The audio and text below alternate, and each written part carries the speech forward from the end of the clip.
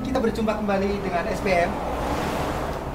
Sebelum SPM memberikan ular-ular atau kalau orang Jawa bilang ular-ular itu ya semacam kayak nasihat. Hal ini bukan berarti SPM merasa lebih pintar, lebih hebat, lebih lah. Cuma ingin sharing lah, ingin berbagi aja dari apa yang SPM dapatkan dari belajar.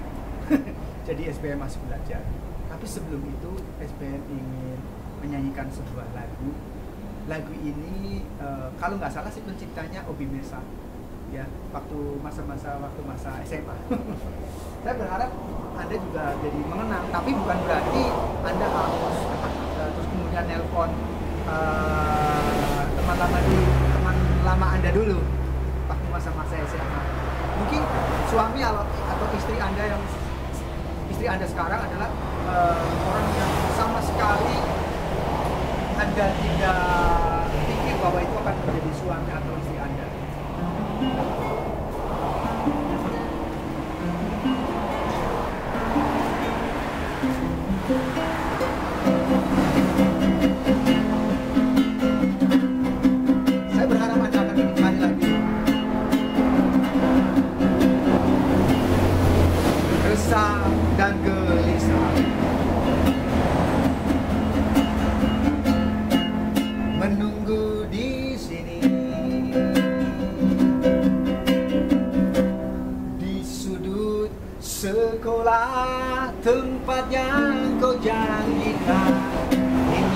Jumpa denganku walau mencuri waktu.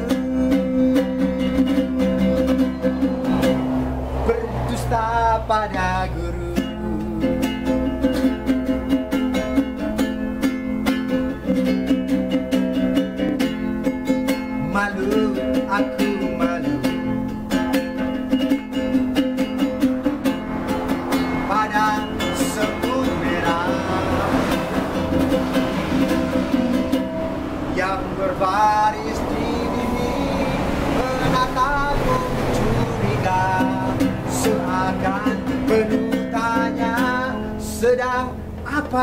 apa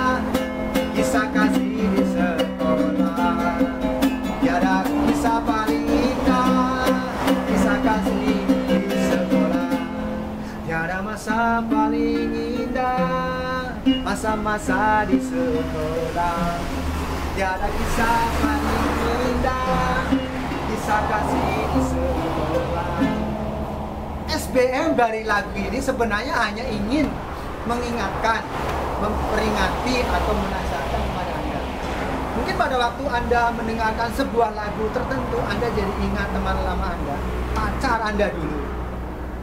Tapi sebagai teman SBM ingin eh, menyarankan lah, eh, percayalah, percayalah dengan sungguh-sungguh bahwa istri atau suami Anda ya, adalah yang terbaik yang dari Tuhan. Jadi tidak perlu lagi uh, berusaha untuk uh, kontak-kontak mengungkit-ungkit apa yang terjadi dulu masa-masa yang paling indah katanya. Tapi percaya bahwa masa-masa yang bersama suami Anda, bersama istri Anda, setialah, percayalah. Dalam membangun rumah tangga juga perlu fondasi. Fondasinya apa? Tentu iman. Ya, sesuai dengan iman Anda karena iman saya ya suatu membangun rumah tangga yang sakinah. Ya, jadi perlu fondasi. Fondasinya iman itu pertama. Kedua, saling percaya dan harus dapat dipercaya. Itu ya. Jadi eh, itu fondasinya. Jadi kalau Anda dipercaya Anda harus bisa dipercaya ya. Kalau suami Anda percaya kepada Anda, Anda sebagai istri harus bisa dipercaya oleh suami Anda. Kalau istri Anda uh, mempercayakan kepada Anda, percaya kepada Anda sebagai suami harus bisa dipercaya. Itulah pondasinya. Jadi saling percaya dan saling dapat dipercaya. Itu pondasinya. Jadi Anda akan menjadi uh, suami istri yang sakinah, keluarga yang sakinah. Dan sebagai teman ya SBM ya, kita berteman aja lah ya. Kita berteman teman itu ada teman baik teman ada teman biasa teman baik dan teman terbaik. Nah saya nggak bahas masalah itu saya bahas juga pernah saya bahas. Ini nah berbicara masalah teman kita harus mendapatkan teman sejati. Ya teman sejati. Apa itu teman nama saya SBM sukses berhasil mantap itu nama panggilan nama yang saya buat sendiri kalau orang tua saya uh, memberikan nama saya Budi Setiawan Budi artinya orang yang baik pria yang baik, ya, uh, setiawan dan harus setia kepada Tuhan dan setia di dalam sebagai kepala rumah tangga, setia di dalam pertemanan. Jadi apa yang dimaksud uh, teman sejati? Teman sejati, nah ini ini Budi ini punya teman ya, namanya Desmond. ya Desmond yang mana? Pokoknya ada deh, pokoknya Desmond. Nah, Desmond ini teman sejati buat buat SPM. Ya, ini begini. Pada waktu Budi nelpon Desmond, Mon, aku lagi sedih, Mon. Aku lagi perlu bantuanmu. Desmond bilang gini, Budi, saat kamu sedih, saat kamu berduka, saat kamu perlu penghiburan, aku selalu ada buat kamu. Itu teman sejati. Teman yang bukan teman sejati adalah teman pada waktu uh, uh, kita dalam keadaan tidak baik dan dia tidak mau ada buat kita ada gula, ada sebu. Itu teman yang tidak sejati. Teman sejati adalah teman yang begini. Budi, Budi nelpon Desmond. Mon, aku, waduh Mon, aku lagi enak banget non. Aku udah makmur, aku udah punya segalanya yang aku harapkan. Kamu bisa datang nggak? Nah Desmond jawab begini, Bud, kamu udah punya segalanya. Kamu udah, udah apa pun yang kamu harapkan sudah kamu sudah tercapai. Saya minta maaf sekarang aku juga sibuk banget. Sangat sibuk aku nggak ada waktu buat kamu. Nah Desmond punya hati yang baik. Jadi pada waktu uh, Budi dalam keadaan terpuruk dia selalu ada buat saya ya jadi itu adalah teman sejati. Teman sejati uh, teman yang uh, selalu siap sedia pada waktu kita dalam berduka dan pada waktu kita bersuka tidak harus ada buat kita. Saya berharap SB, SB berharap Anda menangkap pesan-pesan ini. Jadilah teman sejati buat teman Anda dan carilah teman-teman sejati buat Anda. SBM mau menjadi teman buat Anda dan berharap bahwa SBM bisa menjadi teman sejati Anda. Ya. Nah, SBM ingin berpesan lagi, kalau mungkin Anda adalah kepala rumah tangga atau ibu rumah tangga, jangan menyakiti anak Anda. Sejak dari kandungan jangan dikutukin, jangan sebagai suami harus pelihara harta yang sangat berharga yang dipercayakan Tuhan.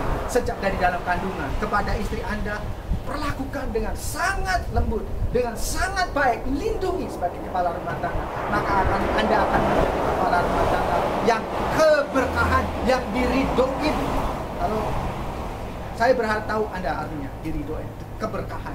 Ya, uh, uh, jadi uh, kalau sudah terlahir, jangan sekali-kali Anda mungkin sebagai ibu atau sebagai kepala mana, jangan menyakiti anak Anda sebab itu akan diingat bahkan sampai besar bahkan sampai mereka atau dia atau anak Anda berkeluarga itu bisa terlalu bisa selalu teringat SBM tentu punya pengalaman tapi oleh anugerah Tuhan Ibu SPM adalah ibu yang sangat baik, ibu yang menjadi teladan buat SPM, ibu yang suka bergaul karib dengan Tuhan sesuai dengan iman kami dan uh, ibu yang suka menolong tanpa bertanya agamamu apa. Jadi kalau ada orang datang ke tempat ibu SPM, ya menolong, nggak perlu ditanya agamamu apa. Oh agamamu beda dengan aku, aku nggak mau menolong.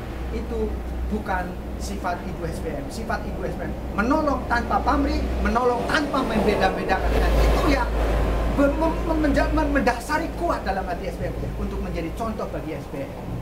Nah, Saya berharap Anda pun seperti itu. Kalau Anda mau menolong, tidak perlu membeda-bedakan sipit atau belok, berwarna kulit, atau berbeda agama. Tidak. Sebab semua segala sesuatu yang perbedaan seperti itu, itu seizin Tuhan. Sekali lagi, itu seizin Tuhan. Jadi, mari kita rayakan perbedaan, bukan sebagai perbedaan, bukan sebagai alat untuk kita pecah belah. Kenapa ada bineka tunggal ika? Itu sebenarnya sesuai dengan tuntunan Tuhan untuk Indonesia. Karena di Indonesia itu ada banyak, ada lima agama, dan ada bedanya beda suku dan bangsa, suku suku dan bahasa juga. Tapi kalau ada bineka, bineka tunggal ika bisa dijalankan, maka Indonesia akan menjadi negara yang super power, negara yang maju, negara yang tidak perlu mengekspor tenaga kerja. Mohon maaf, jangan di. Ya, saya saya berharap justru kalau Anda mungkin sekarang menjadi BMI atau TKI di luar negeri, Anda menjadi orang yang terus belajar dan belajar dan belajar dan belajar dan belajar. Anda pasti berhasil. Sekali lagi, Anda yang nonton video SPM ini, Anda pasti belajar. Anda punya potensi untuk berhasil. Yang terpenting, Anda harus bukan menjadi orang yang pemalas. Dari kota Hong Kong, SPM ingin mengucapkan salam yang sangat dahsyat, yaitu salam sukses, berhasil, mantap. Kita akan jumpa lagi dalam acara yang berikut. Bye bye.